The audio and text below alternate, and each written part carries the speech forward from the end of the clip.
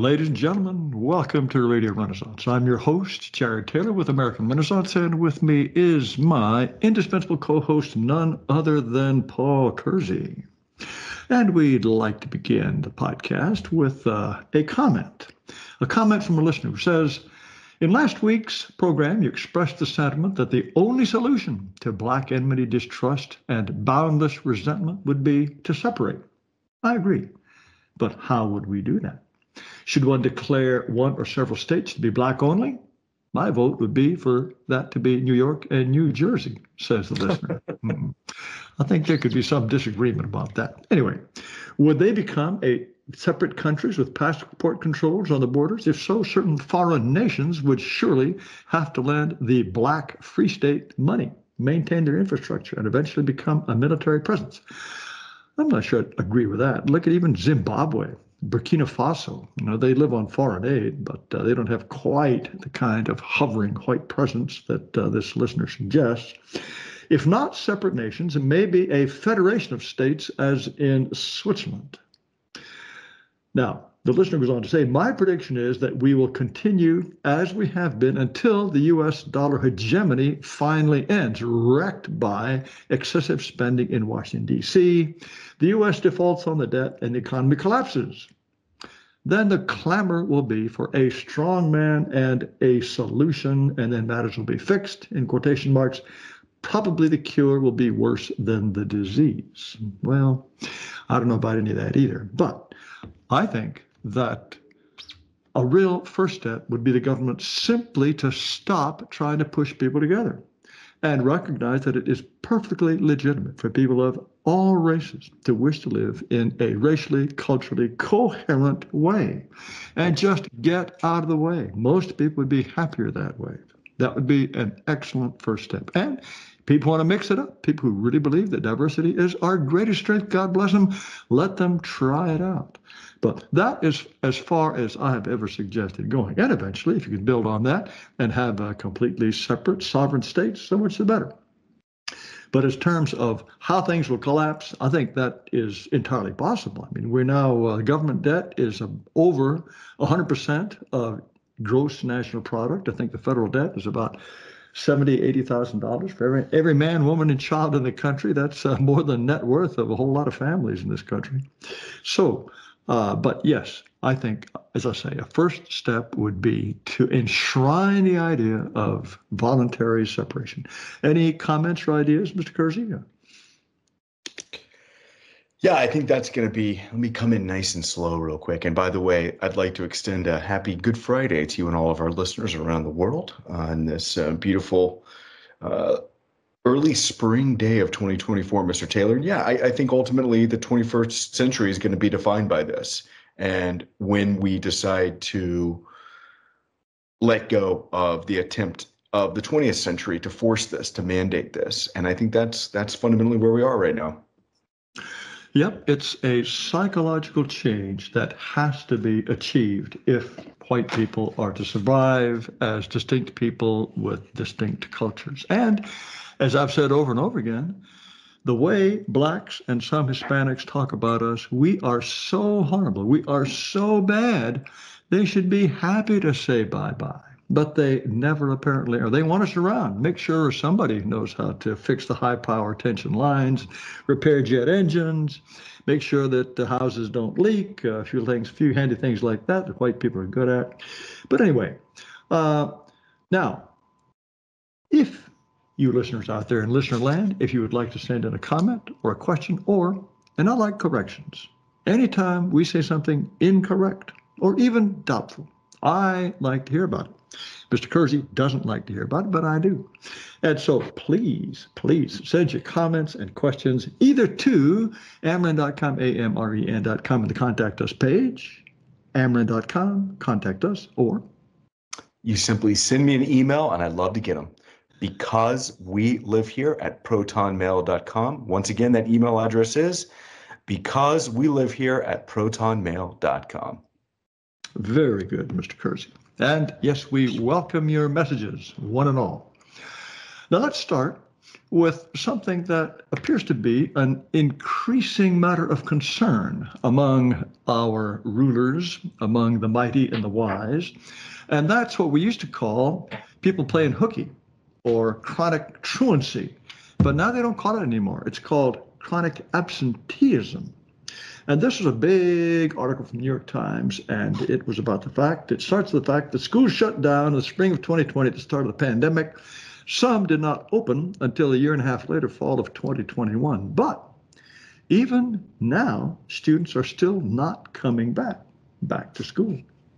Now, these are eye opening numbers to me. Before the pandemic, about 15% of US students were considered chronically absent which typically means missing at least 18 days of school for any reason at all. 18 days.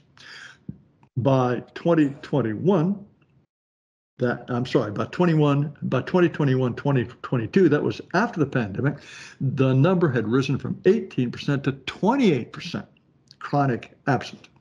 And last year, they came down slightly. This is the second year post COVID. It came down slightly to 26%, but there are still an awful lot of people playing hooky regularly.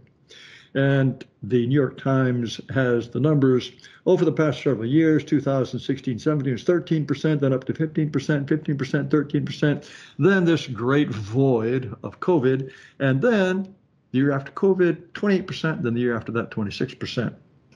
And when it comes to, they've got things broken out in the, in the usual ways, except there's a certain way of breaking things out that they have tended to avoid. In the richest districts, as they call it, before the pandemic, chronic absenteeism was 10%, which seems surprisingly high to me, and it's now 19%. Whereas uh, in all students, all across the country, it was 15%, 26%. The poorest districts, it was 15% before the pandemic, and now it's up to 32%, uh, as opposed to 26% for the country at large. Now, they do also break it out by majority non white school districts and majority white school districts, which doesn't necessarily catch the racial differences because you could have a majority white school district in which a lot of the minority students are not going to school. But the majority white, majority non-white school districts, the chronic absenteeism rate was 17% before the pandemic and 30% now. 30%, pretty high. Majority white, it was 13%, and then it went up to, it's now 22%. Now, just out of curiosity, I looked up some of the overwhelmingly black school districts. And if you go to East St. Louis, Mr. Kersey.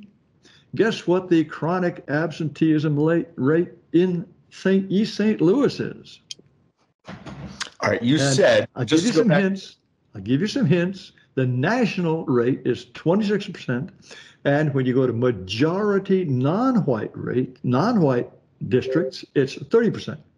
East right. St. Louis, as we know, is awfully melanin enhanced. It is melanin supercharged. So, what do you reckon the chronic absenteeism rate would be in East St. Louis public schools?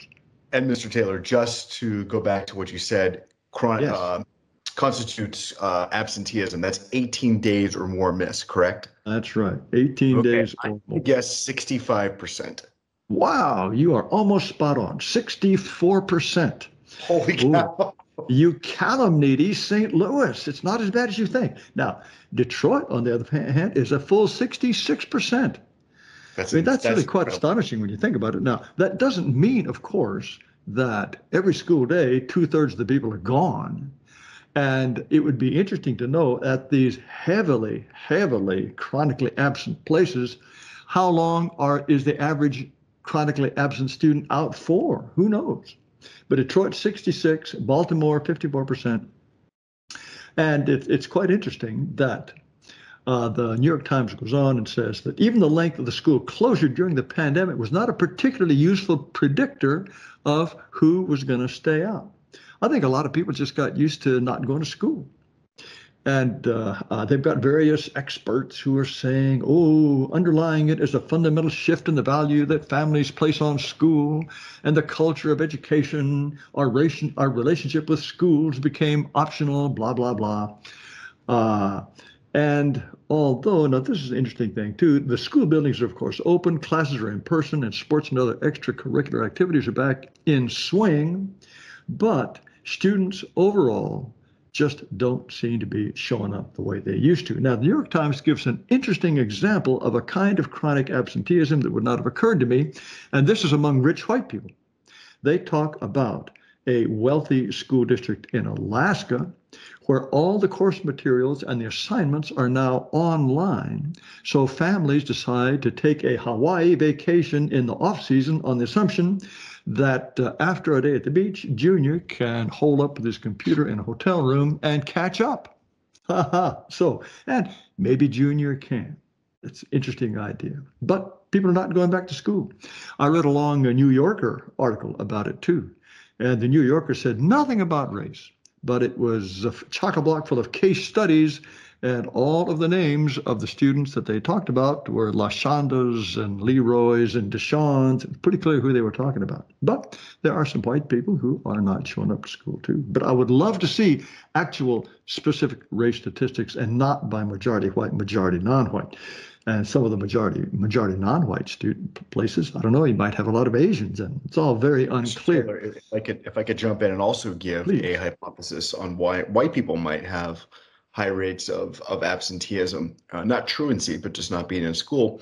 That's because as you progress farther and farther in the field of athletic endeavor, you're going to do a lot of traveling, of travel baseball, travel lacrosse. Oh, uh, but but but those are excused absences. Surely those are excused absences. They're totally they? not. Ex- I, I, can tell you firsthand. Uh, I have a firsthand knowledge that they are not excused and very right. frowned on when you miss out well, on on that type because it's not school affiliated. You're doing it outside of school. Okay, but that would not explain why pre pandemic there was X percent and then post pandemic is X percent plus 10%. That is not explained by that phenomenon. Anyway, it, it's, a, it's something to keep an eye on. Uh, although, as I have often said, if you want to know, if you want to predict the future of the United States, all you need is one statistic, and that is that by the time they actually manage to graduate, blacks and Hispanics are reading and doing arithmetic at the average level of the average white or Asian eighth grader. They are four years behind. And that's mm. going to be the new workforce. Meanwhile, I have another story about Gemini AI. We laughed about Gemini Gemini AI. I think that was just last week, if I'm not mistaken, or maybe the week before. That's the Google artificial intelligence program that thinks the founders were black women, and it won't draw a picture of a white family, but will draw a family of any other race. And when prompted to create images of Nazi, it was so diverse and so inclusive that it showed people of various races wearing SS uniforms. Oh boy, I guess the Afrika Korps, you know, that was another SS unit, remember? Like Das Reich. Uh, and anyway, now there's news that when an author by the name of Peter Hasson asked this Gemini AI program questions about a book he wrote in 2020, he found that the chatbot actually concocted a series of fake reviews of people who panned the book. Now, why would that be? The book is called The Manipulators Facebook, Google, Twitter, and Big Tech's War on Conservatives. Mm. In other words, this is a book that bashes these search engines and uh, the whole internet uh, crushing of certain unpopular views. Of course, it was about the political biases of these big tech, and apparently it struck such a nerve with Google that its AI program must have been told to lie in an attempt to smear this book. This is this is almost more difficult for me to believe than black founding fathers, because this is not some this is this would have had to require some kind of artificial tuning of the algorithm. But as part of Google's description of the book, it wrote that it had been criticized for lacking concrete evidence and relying on anecdotal information. And this guy followed the reviews of his book very closely. He couldn't recall any criticism like that. So he asked he asked the chatbot who made these comments. It then supplied him with summaries of four negative reviews that were allegedly from the New York Times, Wired, Washington Free Beacon, and New York Times Book Review. Every single review was completely invented. And the quotes that Gemini attributed to the authors were 100% bogus. Uh, my uh, the mind boggles at this uh, that uh, Google went to the trouble of instructing its AI program to slam this book with false reviews. And when Hasson asked Gemini to provide him with the source links for these reviews, even though he knew they didn't exist, it seemed to panic and suddenly claimed it was unable to help. wow. Wow. I mean, it, it makes me wonder. Uh, I'd like to see what uh, what Gemini thinks about some of my books. I wonder if they have been. I wonder if uh, Gemini has been instructed to say negative and untrue things about my books. But anyway, Mr. Kersey, you have a heartwarming story about how New York City is facing its man on the moon moment. Isn't this inspiring? It is inspiring, but here I'm going to give you a sneak peek of what AI would say about your books. One, white okay. identity is an invalid concept, only parroted by bigots. And uh, if we do nothing, another title of your book, that's what we hope happens.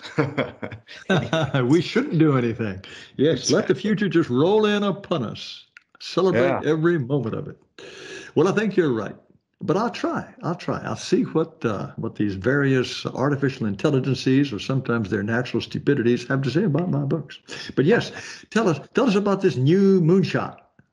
Yeah, Mayor Eric Adams likens new New York Police Department gun scanners in subways to JFK wanting man on the moon. He says, "quote Our Sputnik moment." End quote. So the New York Police Department is set to start rolling out a new technology that'll scan uh, for firearms, strap hangers for firearms in subway stations amid a wave of underground violence. Hizzoner showed off a freestanding scanner manufactured by Evolv, a weapons detection company mind you, by the way, it might be worth looking into to uh, invest in if they go public, uh, at the busy Fulton Transit Center in Lower Manhattan, as the mayor touted details of a soon-to-be implemented pilot program. As you said, quote, "This is our Sputnik moment." Like when Kennedy said, "We're going to put a man on the moon. Let's bring on the scanners." End quote.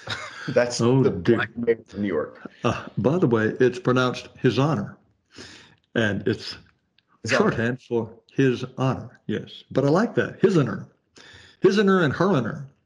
But uh, well, so, gosh, so so what exactly? So I'm sorry. So yeah. Is that is that the is that uh, is that a title of the mayor or I'm sorry is that the title of the company? Forgive me for not knowing that. No, no, His Honor, the the mayor. That is a mayor's official title, His Honor. And sometimes, uh, particularly in New York papers, they refer to the mayor as H I Z Z O N E R or something like that, his honor. It's just an informal way of referring to the mayor. So you don't have to say the mayor, the mayor, the mayor all the time. But be that as it may, I guess for Eric Adams, actually cutting down on gunplay in the subway is going to be as much of a remarkable achievement as putting a man on the moon in the Kennedy era. That's the way he seems to be. Th- this is going to be a miraculous, uh, full tilt, uh, all hands on deck achievement. This is actually laughable that, that you just uh, compared to that because yeah, you think about when yes. Kennedy made that made that announcement. Again, I was born in the mid '80s. I think that was what when he became when he became president or when he was running for president was that in 60 61 when he made that pronouncement that we would put a man on the moon by the end of the, by the end of the decade. I think Sputnik was what 57. So again, our Sputnik moment. Uh, I think the I think Mayor Adams has his has his space history a little bit misaligned, but that's all right because again, Giuliani and Bloomberg showed you how to make New York City safe, and that's with stop and frisk. That's with that's broken right. windows policing. So, um, yeah, Yeah, but he thinks now. Uh, uh, is there any more about how this technology is going to work? It can give you it. It's a metal detector from from afar. Is that is Yeah, everybody uh, going to be walking through a frame like a TSA? How's it gonna- going to work? Everyone's going to be walking through these this this radioactive uh, transmitter. The mayor wouldn't say how many of the scanners will be initially set up in the subway system or at which stations when the program eventually gets underway in the coming months. I believe it's not for another 90 days, so three months out, that this technology is going to be uh, actually erected and, and put up in, in undisclosed locations. And again, the exact logistics aren't immediately clear, including whether every uh, strap hanger will have to walk through the scanner immediately before or after the Hmm. turnstile, or if there's a chance they could sidestep the detector altogether. Hmm. Uh, critics were quick to rip the new technology with law enforcement. Uh, with law enforcement, hold on a second. With law enforcement telling the New York Post the city could just invest in more cops instead. We don't need more robots. We need cops, not just for the trains, but for patrol and everywhere else. Robots will not fix anything, one cop source said. Uh, NYPD is playing TSA now in the subways, just another inconvenience in the subway system. Uh, give me one second while I peruse the article to find out your question. Uh, and of course, that is buried down here. Uh, again, the gun detector technology, it doesn't even say where it is. Let's see here. Hold on. Currently, there are two Well, scouts. well, Yeah, I, I- I just quickly flashed through the article, Mr. Taylor, and it doesn't tell you how the technology even works in terms of, uh, let's see here. Despite touting the new gun tech gun detectors, the pilot program won't get underway until July, advertising its intent to use electromagnetic weapons detection system due to the Post Act law. So they have to wait 90 days. I don't know what the Post Act law is, if that's something that they have to wait to implement something. But again, all you have to do is do stop and frisk. I mean, this isn't hard. This is this is what made New York City going from. Go ahead. Well, I was just going to say, if they do have a TSA style uh, security procedure to get into the subway, it'll mean you might have to back up for 15 minutes, stand in line, go through all of this. It's going to make it uh, very, very disagreeable to ride the subway, but it'll work. When's the last time you pulled a, heard of somebody pulling a gun on an airplane? It, it, it does work if you do it that way. But as you say, stop and frisk is uh, is the clear way not only to get guns off the street, but lock up the bad guys. It, it it's so much more than simply finding people with drugs and guns. It really gives the police an opportunity to get a hold of bad, bad people and put them where they belong. But no, the idea that he's going to make the he, likening it to the moonshot, it just goes to show you what a terrible problem it is for these guys and what lack of imagination they have. They think they're going to need 21st or 22nd century technology to do the obvious thing. Boy, oh boy, good luck, Eric. Yeah, eh, But- you know, Mr. Taylor, I don't have the exact stats in front of me, but somebody posted an article on Twitter that something like a hundred individuals were responsible for being arrested and committing crimes, totaling well over a thousand crimes on the New York subway. So all you have to do, the police know who these people are. They've been arrested time and time again. Recidivism is just Yeah. off the charts. You just arrest these people. You do what uh, Bukele has done uh, in El Salvador. I mean, basically, the ultimate yeah. question of the 21st century is this. It's very simple, Mr. Taylor. Do white people in America have the constitution that Bukele had in El Salvador to put the people of El Salvador first ahead of the civil rights of El Salvadoran criminals? That's Well, it. That, yes, yes, you're absolutely right. Uh, I believe that uh, a long-standing statistic in American crim- criminology is that every felon you take off the street has actually committed at least a dozen other felonies by the time you finally catch him. And once they're once they're in, they can't commit any more while they're there. Be that as it may, moving on to Columbia University. Columbia will host a variety of special graduations based on race and sexual orientation. These multicultural graduation celebrations aim to provide, quote, more intimate settings for students who self identify in various ways. There will be segregated ceremonies for Asians, Blacks, Latinx, and Lavender. I bet you can guess who the lavender people are, Mr. Kersey. Now, Better that says, yes, better not. Among other categories. Now, I'd love to know what the other categories are. I don't know, mentally handicapped or committed communists, or what are the other categories? I think this is all quite fascinating. But with all of these ceremonies being sponsored or co sponsored by Columbia's Multicultural Affairs Office. Now, this is the only reason I found this of any significance. The, Mulch, the Multicultural Affairs Office, right on its website, in big bold letters, says diversity and inclusion are central to the student experience.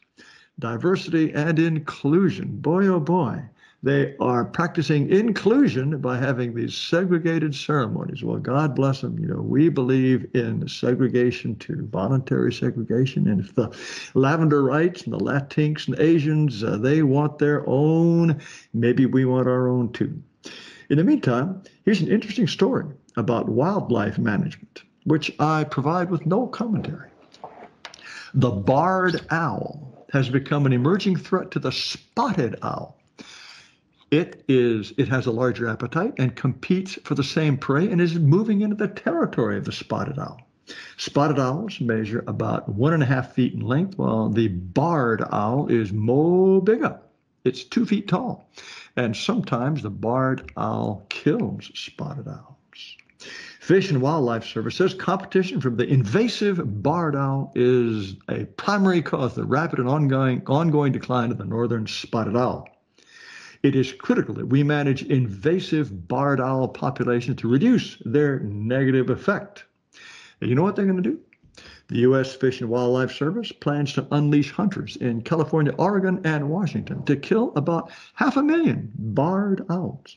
Hunters would broadcast barred owl territorial calls to attract owls and shoot on sight. Just a little item I pass along for those who have an interest in wildlife control. Now, here is a story from South Africa. Mr. Taylor, may I, may- may I be so bold to interrupt and bring up another Yes, story about wildlife? Please. Uh, a few years ago, a good friend of mine lived in Miami, and he told me about how the state of Florida was paying hunters to go into the Everglades to take care of the python Yeah. explosion that was endangering the Everglade indigenous population. Yeah. Um, Yeah. They were basically going in and uh, decimating the indigenous population uh, of food that was traditionally there for the alligator. And- Now, yeah, yeah. Now, were they were they competing with alligators? Uh, because there there are no indigenous pythons in Florida, but they they were they were uh, out reproducing and out competing the uh, alligators. Oh, it's it's an amazing story of how many of how many babies these these these female pythons produce and and how rapidly they reproduce and I saw an amazing documentary where these these and and these are all white good old boy hunters who are going in there and they're using um they're using a a drone to go up and uh basically um infrared at night to see how many pythons using heat technology and Mm. find the nest they then go in and just destroy these nests because you're getting paid handsomely by the state of Florida to get rid of these because the alligator is indigenous and to see these invaders come in and overtake the uh, the alligator's uh, domain that's not cool Well, no, that, that's interesting though. I wonder how they actually compete. Do they eat the same things, or do they kill the alligators? Do they eat the alligator babies? Uh, do, do you remember how what? Uh, Yes, just they, what they do both of those. They do both I of see. those in terms Ah, of well, eating the get rid of 'em. alligators. And, and- and- and there's some amazing videos you can see of a python that has consumed a massive alligator or battles that they've gotten in. And you know, there's just an interesting little metaphor. I'm not gonna I'm not gonna try and explain what it is, but uh, yeah, you know, just it's uh, just interesting, interesting uh, bit of wildlife management. But the state of Florida has sided with the indigenous alligator. So, anyways. Well, mm, mm. siding with the indigenous. Okay. Well, now here is a story from South Africa, and the headline caught my eye. It said, Speaker of South African Parliament accused of taking $135,000 and a wig in bribes. Oh, they love their wigs. They love their wigs, Mr. Kersey. This is while she was this is while she was defense minister. Her name is Nosiviwe Mapisa Nqakula, Speaker of the National Assembly. She prosecutors say that she received 11 payments totaling $135,000. She sought another bribe of $105,000, but didn't get that one. And there was an occasion in February 2019 when she received more than $5,000 and a wig at a meeting at the country's main international airport. Well, she's taken a leave of absence from her role as Speaker. She was previously accused of taking bribes, but a parliamentary investigation was dropped in 2021. So that's just a little glimpse of life in the Rainbow Nation for you. Well, Mr. Kersey, I think you have a glimpse of life in Baltimore for us, equally uplifting. I think we need to rename Baltimore the Port-au-Prince of America. Uh, this is a city. Did you? I, I just want to ask before we get started. Yes. I recently was traveling and I went to Pennsylvania, and Mr. Taylor, on the way home, I took the Francis Scott Key Bridge and the person that I was driving with, I remarked, it won't be long until this bridge is renamed. Little did I know that it wouldn't be long until that bridge was destroyed. Yeah, just as well that you were not on the bridge when it happened. But no, it was a, it was a, month or two before. But I'm just curious, what was what was your immediate reaction when you saw this very important bridge? You know, Baltimore Port is one of America's most important ports. Uh, this was extraordinary to see. Well, gosh, I well, these things happen. These things happen. Now there are many people who were tempted to say that it was some sort of DEI in terms of uh, people piloting the ship or who had done the design. Uh, there's no evidence of that so far, and uh, um, I was I was as surprised as anyone, of course, but I was even more surprised, frankly, to hear that this is apparently the port that receives the most imported automobiles. Now, I thought most of our imported automobiles came across the Pacific from Asia. Uh, but maybe, how is it that they end up? I guess they go through the Panama Canal. I was very surprised to hear that it's the port that has the most imported automobiles, but that's neither here nor there. But uh, what's the story on uh, Baltimore itself? I believe Baltimore mayor has been up to some shenanigans. This was this was amazing. Um, you know, I follow Baltimore probably more than most people. I wrote a book about Baltimore. I'm passionate about Baltimore. I think it could be one of America's great cities because Mr. Taylor, it was once one of America's, if not the world's great cities. Uh, if you go to the archives of amren.com, sir, you can see that Gregory Hood and I did a great replacement of Baltimore. And 100 years ago at this time, what percentage do you would would you say was uh, was white of Baltimore in oh, 100 years ago? 100 years ago? Oh, must have been 85% or at least 80, 80, 85.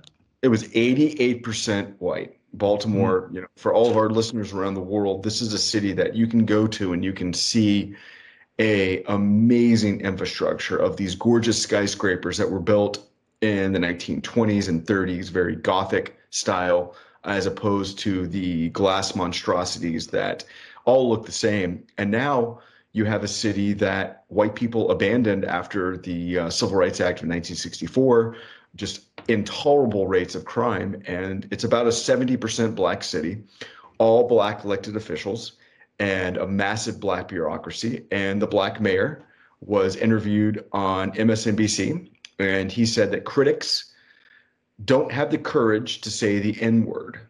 Now, what did he mean by that? Now, Baltimore Mayor Brandon Scott, he's a Democrat, has accused his critics of racism after many labeled him the DEI mayor following the collapse of Francis Scott Key Bridge earlier this week.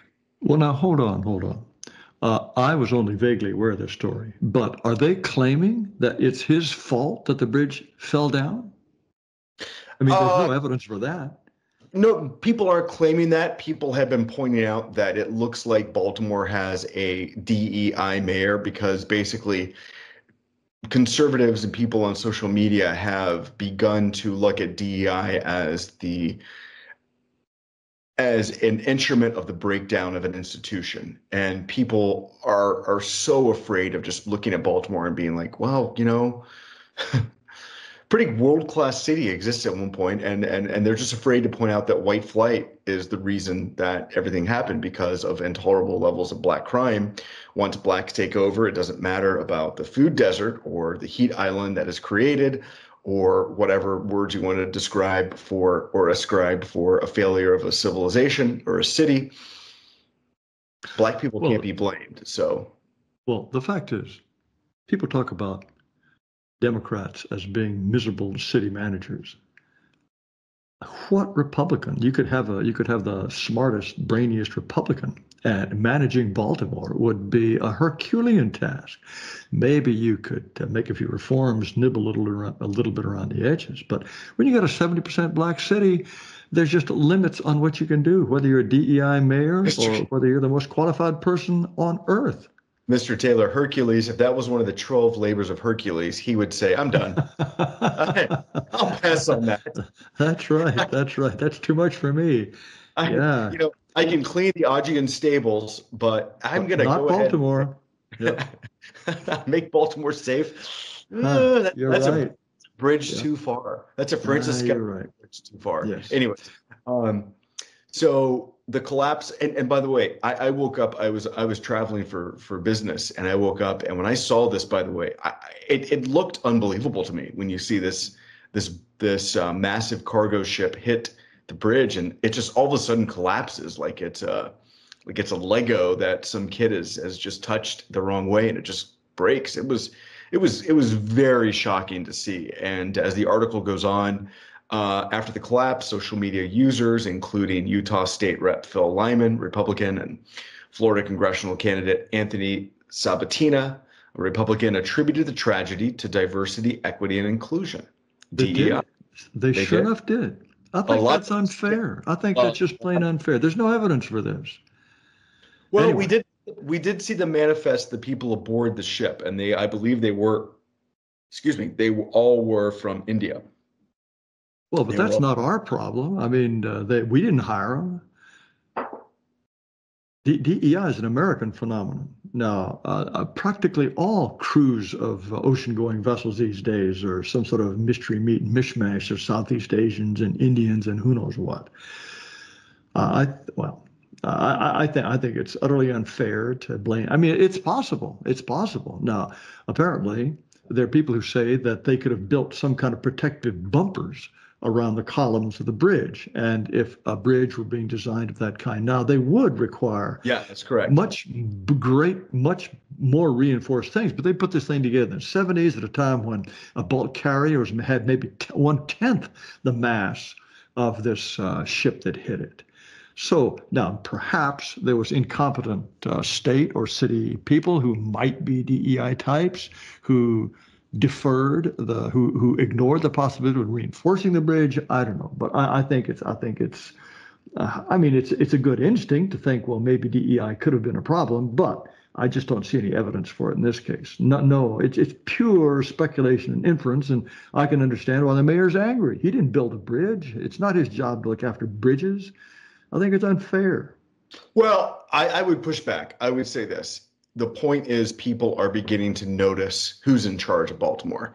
And when you're spending, you know, Baltimore, Mr. Taylor, we've talked about this city ad nauseum since we've done this podcast. The city has one of the highest rates of per, of per pupil spending.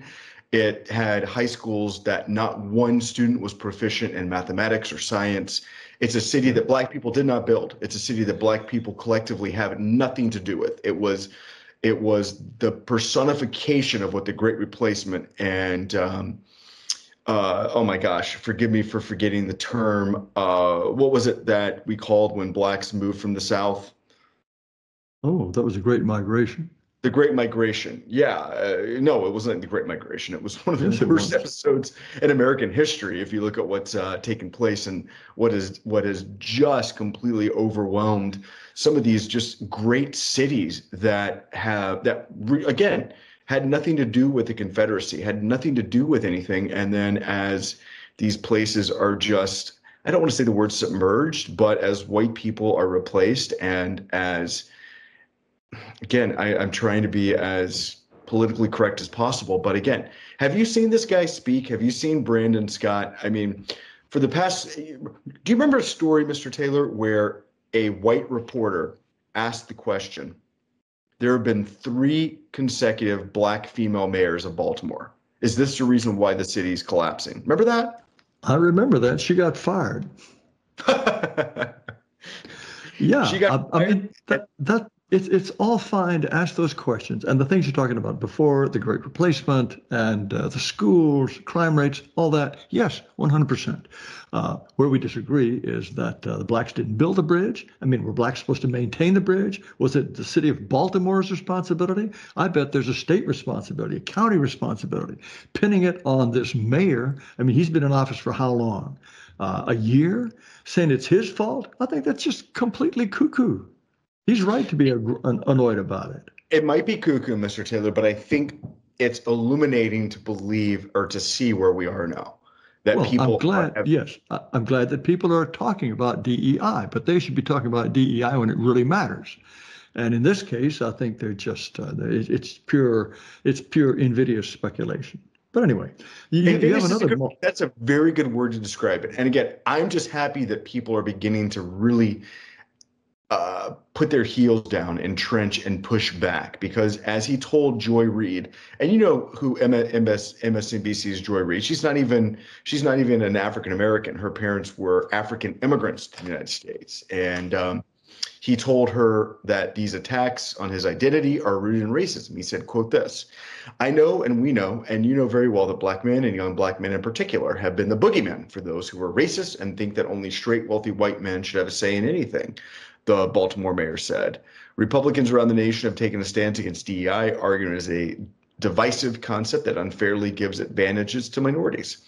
Scott argued those blaming DEI for Tuesday's bridge collapse are ignoring that he was elected to office. Quote, We've been the boogeyman for them since the first day they brought us to this country. And what they mean by DEI, in my opinion, is duly elected incumbent, he said.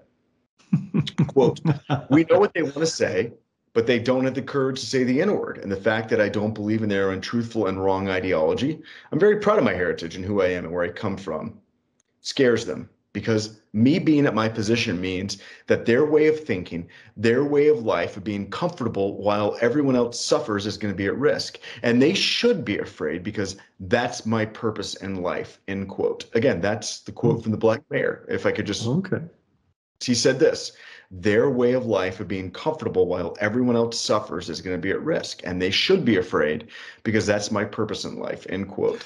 Now well, go ahead. well see that that is a significant quote because it proves that he's one of these complete idiots who thinks that blacks are poor because whites are rich and that it has nothing to do with brains, competence, hard work. He thinks that white people are rigging the game, and that's the only reason why those Baltimore schools have. You have Baltimore schools where not a single student is competent in this, that, or the other. The murder rate is so high. It's all Whitey's fault. It is clear that he is full to the brim with that kind of foolishness. That's interesting. Yeah, I, I think and, that's I, I, think, Mr. Taylor, and that's why this DEI pushback is so important because you basically are pushing these people onto the defensive as opposed to being constantly on the offensive because white people are just afraid to take their own side. And when you push back and you force black people to defend their side, you get this kind of quote. And it's like, hey, dude, like, again, Baltimore has.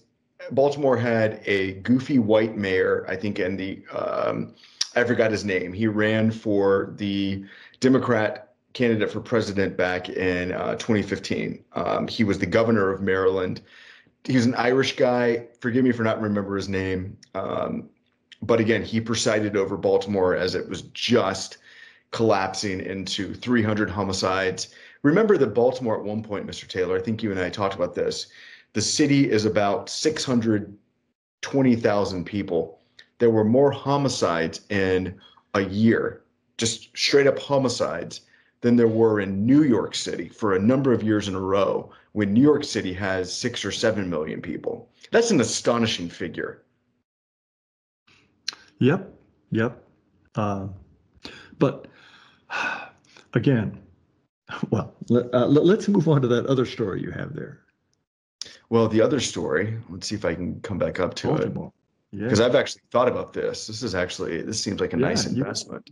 You could have fun. Just get yourself a gun permit first. That's hard to do in Maryland. So Yeah. Baltimore is selling one dollar homes amid fifteen thousand abandoned properties and high crime. In a bid to breathe life back into its beleaguered neighborhoods, the city of Baltimore is rolling out a groundbreaking initiative, selling boarded up homes for a mere dollar each. now, the same mayor who says DEI means, hey, you're calling me the N word, Brandon Scott, is spearheading the plan aimed at tackling the city's long standing battle with crime and urban decay. Of course, we don't understand who is responsible for the crime and urban decay in Baltimore, but I think you and I know, and we would be uh, lambasted if we dare say who that is by Brandon Scott. With more than 200 city owned vacant properties up for grabs, residents willing to roll up their sleeves and restore these homes to their former glory are being offered a once in a lifetime opportunity. Again, 15,000 abandoned properties blighting Baltimore's landscape as of 2022, according to city records. The road to urban renewal remains long and arduous. It boasts one of the highest crime rates in the US, if not the world. The probability of falling victim to either violent or property related offensive offenses in this city, Baltimore, which is about 25% white and 70% black. Mr. Taylor, it's 1 in 21. Um, Well, now, you know, I saw that figure. Is that per year or per lifetime or per resident uh, for as long as he lives in Baltimore? We have to know what that figure really means. it's actually that means 5%. What's that? it's per Per year. Five percent, five percent of the population every year is victim of a crime. Yeah, Pretty high. pretty pretty aggressive. yeah. So the crime rate surpasses that of communities across the spectrum, ranging from small town to sprawling metropolises. So this one dollar measure, greenlit by a city board uh, about a week ago, echoes the spirit of Baltimore's historic dollar house program in the 1970s, which saw homesteaders revitalizing communities one house at a time. Newark, New Jersey, uh, as well as Detroit, by the way, has dabbled in a similar scheme, underscoring the urgency of innovative solutions to combat urban blight. Now, of course, Mr. Taylor, again, urban blight. What caused urban blight? Well, well, my question is, they've already tried this in other cities and they've already tried it in Baltimore. Did it work? No data on that. It, it appears in this story. Hmm. It's not in this story. Um, it, it has, again, we'd have to look at the historic data. I would say that the fact that Baltimore is trying to do it again probably shows that it didn't work. So, uh, right. Well, remember, I think it was last week we had stories about incentives that various cities have tried to put in place to get policemen to live in high crime neighborhoods. Louisville last year, uh, last week, you Louisville talked was that. one. Louisville was one, and Houston was another. In Houston, the Fraternal Order of Police says you can't pay us to live in those places. So we'll see what the attitude is on people who are offered uh, homes, homes for one dollar each. I bet a lot of people are going to say, "No way, no way." Most people are going to say, "No." Well, we'll see. Mr. And Taylor, again, you and, I are it- very, you and I are very familiar with the DMV area. And it's always been my opinion that Baltimore is one of those cities. You've got a major airport, you've got a massive, beautiful infrastructure, you've got access to the inner harbor. It's a beautiful city. It's one of the fastest ones that should come back if you built a high speed rail between DC and Baltimore. So people could live in Baltimore, commute to DC. If you actually cared about making these communities, these Well, cities great again, you'd have Mr. to. Kersey, Mr. Kersey, you can get in on the ground floor and become the next Donald Trump, real estate billionaire. Buy up all these one dollar a house houses, fix them up, and boy, you are going to be the next property magnate. May I counter that with may I counter that with why it won't work though?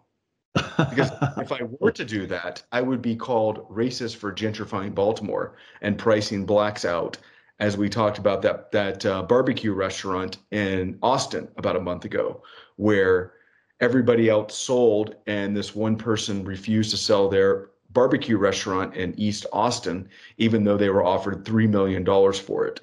Again, if you clean up a city, you're going to be accused of racism. If you make life better for everyone, that means you've made life worse for black individuals who prior to your involvement in the city civic life, you know, they they lived, they thrived. Uh, and by thriving, that means that you know the criminality is what they exa- they existed upon. So that's the catch twenty two of life in America right now. Okay, okay, well let's move on. Let's move on to sad stories from high IQ countries. We have a lot of those. This has to do with Korea. Last year, South Korea's fertility rate, already one of the world's lowest, fell to a record low of 0.78. That means every woman in her life can be predicted to have not even one child. That is well below even that of Japan, 1.3. And Japan is already the oldest nation in the world in terms of its age pyramid. The South Korean government has spent more than $200 billion over the last 16 years to encourage people to have more children, but they ain't doing it. The government surveys Koreans between the ages of 19 and 34 every two years, and found that only 36% polled last year said they had a positive perception of marriage. That was down from 56% in 2012 who had a positive idea about marriage. 36%, only 36% think marriage is a good thing. The fall reflects the growing pressures on young South Koreans, including economic concerns, unaffordable housing, rising cost of living, and among the third of respondents with a positive perception of marriage, results skew heavily towards men. Only 28% of women have a positive view of marriage. Wow. That, that's really extraordinary. Ordinarily, you think of women as the ones who want to tie the knot and make families. This is terrible. South Korean women reported that they had safety concerns when it comes to dating, exacerbated by high profile news stories of sex crimes, voyeurism, and gender discrimination. They're afraid to date Asian men, Korean men. Good grief, I would have thought Korean men were pretty safe, pretty safe bets, really. Women's advancements in education and the workplace also mean the opportunity cost of marriage is much higher for women now than in the past. By getting married, they may have to compromise on their career, especially given entrenched gender norms and difficulties re entering the workplace after childbirth. In a survey of young people, more than half said they didn't see the need to have a child even after marriage, a rate that has been steadily rising since 2018 half of young Koreans say they're not interested in having children. This is terrible. This is really absolutely terrible. And now, here's a story from China. Hospitals across China are scrapping their maternity wards. Record numbers of young couples shun the idea of starting a family. They blame economic uncertainties. Once again, high cost of education, lack of affordable childcare, the fifth People's Hospital in Guangzhou City in Jiangxi confirmed newborn services would be suspended this month. And a hospital in Jiang, the, in Zhejiang, the Jiangshan Hospital shut down last month, all of its maternity wards. In 2023, China's population shrank for the second straight year, falling by 2 million. Gone. The seventh straight year that the birth rate has fallen and the number of maternity hospitals dropped from 807 in 2020 to 793 in 2021. That is, let's see, that is a total of uh, 14, 14 maternity hospitals have just shut from, night, from 2020 to 2021. Once again, very bad news for the high IQ races. Now, another story, just to round it out, we'll have a story here about Japan. This is sort of a semi good news story. Visitors are flocking to the city of Nagi. And in a nation struggling with record low birth rates and population decline, Nagi has become known as the miracle town, where nearly half of the households have three or more children. The local lifetime fertility rate is 2.95, more than twice the national average. 2.95. Their population is growing. As you know, Mr. Kersey, 2.2 is considered the number that each woman must have in her lifetime to reproduce herself and her husband, that extra 0.2 being to account for those who sort of don't make it along the way. Nagi has a population of 5,700. Several South Korean officials visited earlier this year. because they want to know how it works. In the US, the fertility rate hit a record low of 1.64 in 2020, but has rebounded slightly. Now, 2002, back to Nagi, the town had a referendum on whether to consolidate with other neighboring towns, an initiative encouraged by the national government to streamline administrative operations. That way, you just have one city hall, one school district, uh, one this, that, and one the, the other. And slightly more than the half of the town's residents voted against the proposal. But by choosing to remain independent, to have their own municipality, that meant they had to dedicate more resources to nurturing their own population. The city government cut funding for traffic safety, administrative reform, and some health and fitness activities in order to allocate more money to helping families. In 2004, Nagi began offering free medical services for children until junior high school. It also started paying payments, about $1,000 for every child born after their second. That ain't much money, frankly. No. Then, but people went through a big mental change when they chose not to merge with the other municipalities, says a city spokesman. We had to survive as a town on our own. Now, medical care in Nagi is free for children through high school. No matter what problems you have, it's free. And the thousand dollar uh, the thousand dollar incentive starts with the first child, not the third. Still not that much, but a nice little bonus to come along. That'll buy a few diapers. The city subsidizes child care, education costs, and infertility treatments.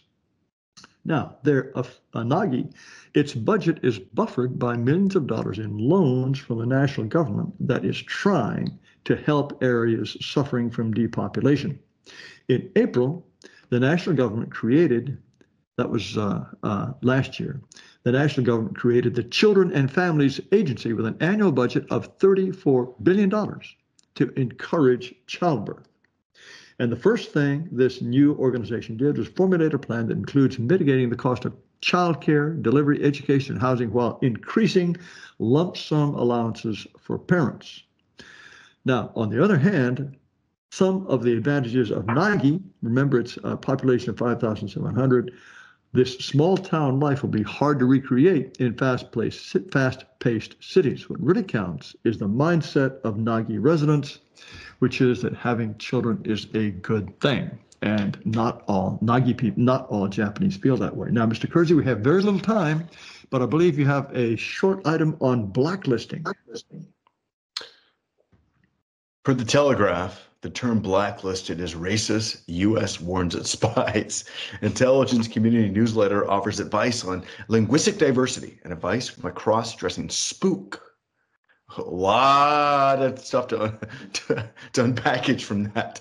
U.S. spies, including members of the CIA, have been told the term blacklisted is racist, and an internal diversity newsletter which also offered advice from the cross-dresser. The guidance has been included in the dive and newsletter circulated by the intelligence community's uh, diversity, equity, inclusion, and accessibility office. So, DIA, uh, DEIA. I guess that's where our intelligence community is headed.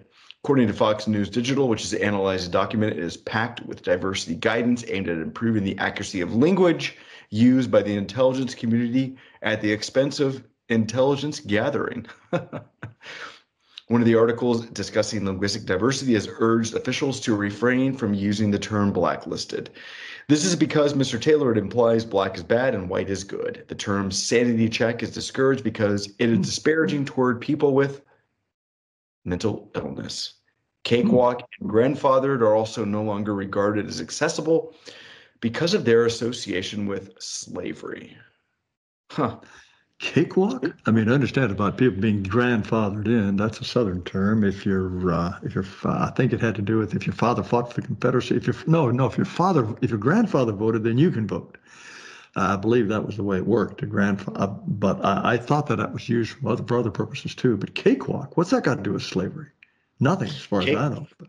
Uh, you know what? I'm not going to try and guess the etymology of the term cakewalk with its association or correlation with slavery, but point is, it's great to know that the people of Langley are learning about DEI at the same time that the black mayor of Baltimore is basically confusing that term with the N word and then saying that his job is to make white people uncomfortable. Okay, so what else, what else about this story here? Any, anything else? Uh, Only thing else from the story is that an anonymous intelligence officer wrote that his cross-dressing habit has made him more effective in his role. I'm an intelligence officer and I'm a man who likes to wear women's clothes sometimes. I think my experience as someone who cross-dressing cross-dresses has sharpened my skills I use as an intelligence officer, particularly critical thinking and perspective taking. So I guess that goes back to your theory of um, maybe those who identify as lavender should be the only people who get access to intelligence. Wow, Well, so cross-dressing sharpens his mind. You know, I'm going to start wearing a bra. I think that's going to make me sharper, improve my memory, help my critical thinking. But I won't do that. I won't do that till next week, ladies and gentlemen. And it is always a pleasure. always a pleasure. Spend this time with you. It is really a great honor. And uh, Mr. Kersey and I look forward to doing this again next week. Thank you so much.